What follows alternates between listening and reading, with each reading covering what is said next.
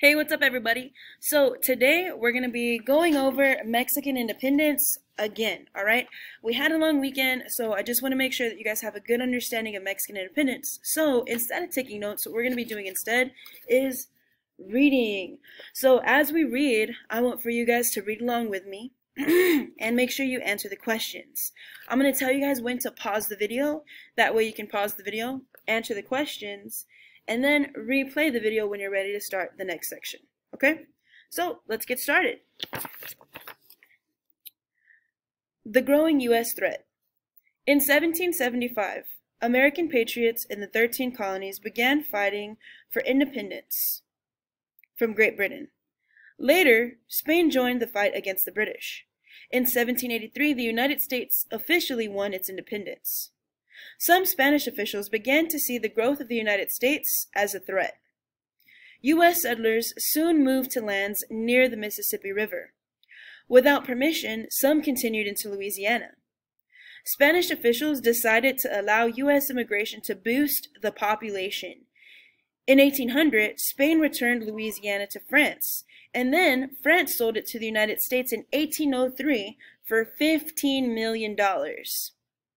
This land deal was known as the Louisiana Purchase. Border disputes in Texas. The Spanish were alarmed by the Louisiana Purchase. The United States now bordered New Spain. A dispute arose over the undefined boundaries of Louisiana. In particular, both sides claimed the territory that lay between the Sabine River and the Arroyo Hondo. Spanish and U.S. officials agreed to make the disputed region in East Texas neutral, not belonging to either side. This territory became known as the neutral ground. Both countries would remain out of the area until diplomats, or officials who represent countries in foreign affairs, set that official border. In 1819, Spain and the United States signed the Adams-Onis Treaty, setting the boundary between their territories. As a part of the terms, the United States gave up all claims to Texas in exchange for the neutral ground and Florida. All right, there are three questions. One, two, three, and that challenge activity. Make sure you guys hit those three questions and that challenge activity. Push pause on the video so you guys can answer those questions and then we'll pick up with section three. uh, okay, section three. The Philip Nolan expeditions. Philip Nolan, a United States citizen, had begun coming to Texas in 1791 as a Mustang trader. Spanish officials grew suspicious of him. In late 1800, Nolan and some 20 men returned to Texas. When Spanish soldiers tried to arrest him, he resisted and was killed. Nolan's actions increased Spanish fears of U.S. expansion. Spanish officials worried about filibusters, or what they're later called as military adventurers, who tried to stir up rebellion. Most filibusters wanted free wanted to free Texas from Spain. Some were looking for adventure. The call for Mexican independence. In Mexico, fights broke out between criollos, people of Spanish descent born in Mexico, and peninsulares, people who were born in Spain. In 1810, Father Miguel Hidalgo y Costilla of Dolores, Mexico, called for an end to rule by governing peninsulares. He was killed in 1811 by Spanish soldiers. His call helped begin a Mexican movement for independence from Spain. The green flag over Texas. When Hidalgo's revolution began, Jose Bernardo Gutierrez de Lara and a U.S. Army officer, Augustus Magee, raised an army of volunteers.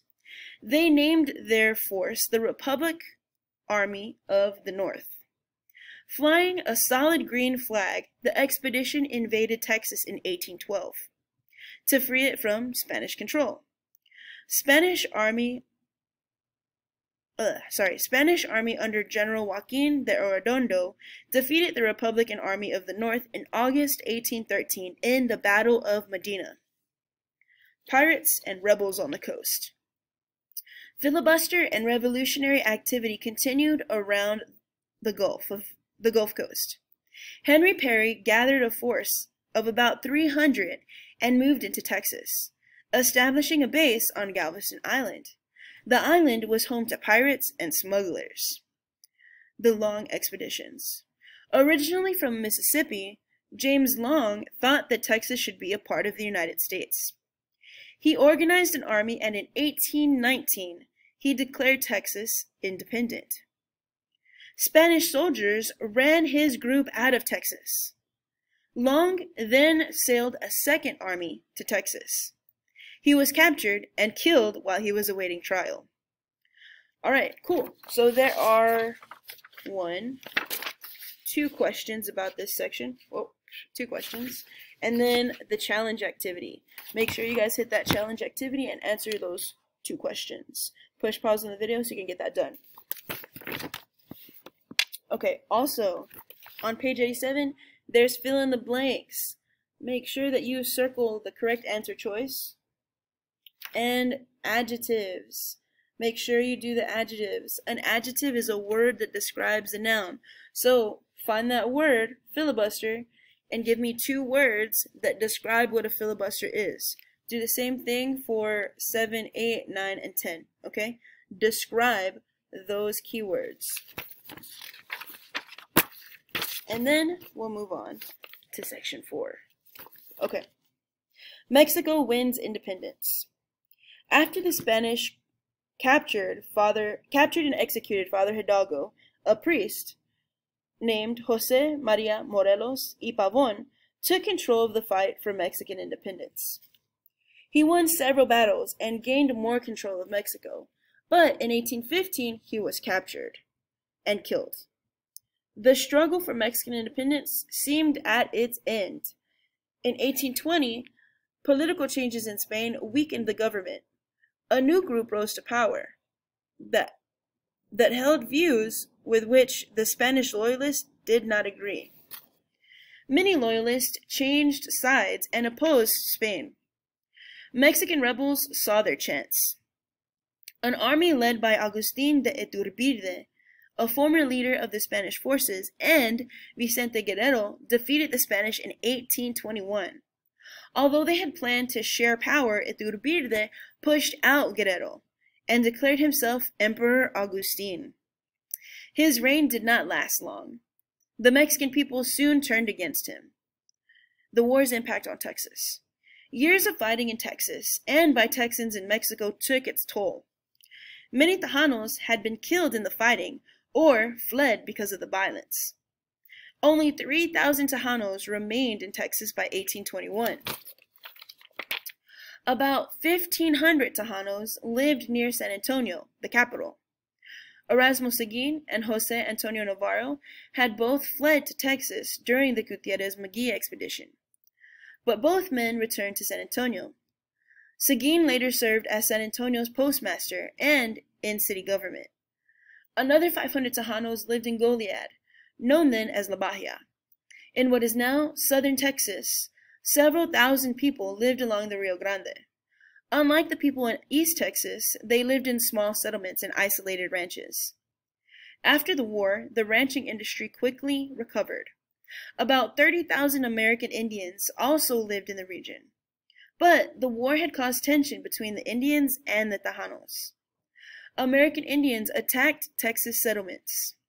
Wealthy ranchers built fort-like houses to guard against attacks. Less fortunate Tejanos lived in tajacales, one-room huts made of sticks and mud. Alright, cool. So, hit that challenge activity again right? In a brief paragraph, summarize the effects of the Mexican War on Texas. And then your DOL is page 90. Read each sentence and fill in the blank with a word from the pair that best completes a sentence. Real simple, real easy. Um, you guys should be done with the packet. When you're done with the packet, get it turned into me, and I'll see you guys in class. Bye.